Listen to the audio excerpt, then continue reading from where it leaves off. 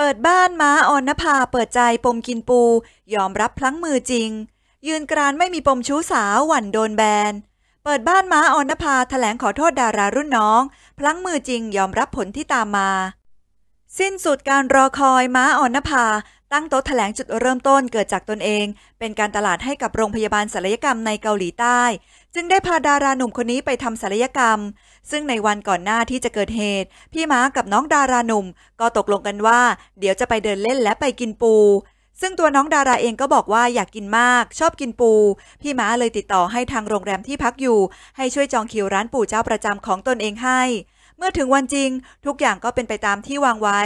บางช่วงดาราหนุ่มก็แยกไปเดินซื้อของเอง และเดินกลับมาเจอพี่ม้าที่ร้านกาแฟที่พี่ม้านั่งรออยู่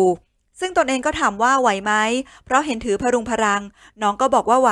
และยังพาพี่ม้าเดินไปซื้อรองเท้าด้วย แต่หลังจากนั้นดาราหนุ่มก็พูดขึ้นมาว่า ไม่ไปกินปูแล้ว พี่ม้าก็ตกใจเพราะจองร้านไว้แล้ว และพลั้งมือแตะไปที่หน้าของน้องเบาๆ ย้ำว่าไม่ได้ตบเพราะไม่แรง และไม่ทิ้งรอยไว้บนใบหน้าน้องอย่างแน่นอน พี่ม้ายังบอกว่าตกใจกับสิ่งที่ตัวเองทำแล้วก็รีบขอโทษ ซึ่งดาราหนุ่มก็ไม่พอใจและบอกว่าพี่ตบหน้าผมเลยเหรอ พี่ทำแบบนี้ไม่ได้นะ เป็นคนอื่นผมด่าไปแล้ว ผมโกรธนะพี่ พี่มาก็พยายามขอโทษแล้วก็อธิบายว่า เรานัดร้านไว้เรียบร้อยแล้ว ถ้าไม่ชอบไม่อยากไป ควรบอกกันตั้งแต่ต้น ตัวน้องดาราเองก็บอกว่าเข้าใจ และจะไม่บอกเรื่องนี้กับใคร แม้แต่ตัวผู้จัดการ พร้อมโผกอดพี่มาแล้วก็ไปกินปูด้วยกัน หลังจากวันนั้นทุกอย่างก็เป็นปกติ จนพากันไปทำศัลยกรรม คอยถามถ่ายอาการแนะนำอาหารการกิน หลังทำศัลยกรรม พูดคุยกันอยู่ตลอด ตัวน้องดาราเองก็บอกว่า เจอกันอีกทีวันที่ 29 พฤศจิกายน ซึ่งเป็นวันนัดตัดไหม แล้วจู่ๆก็มาทราบว่าเป็นข่าวเกิดขึ้นในไทย หลังจากที่ทนายตั้มโพสต์เรื่องนี้ผ่าน Facebook ก็เลยงงว่ามันเกิดอะไรขึ้น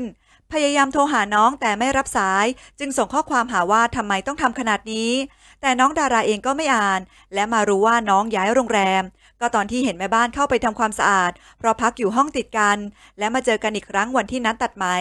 นักแสดงหนุ่มบอกว่าไม่คิดว่าเรื่องจะใหญ่โตขนาดนี้ และที่ไปแจ้งความที่เกาหลีใต้ เพราะต้องการจะสั่งสอนพี่ม้าว่าไม่ควรทำแบบนี้กับใคร พี่ม้าเองก็พูดว่า ตอนนี้ก็ได้รับผลของการกระทำของตนเองอยู่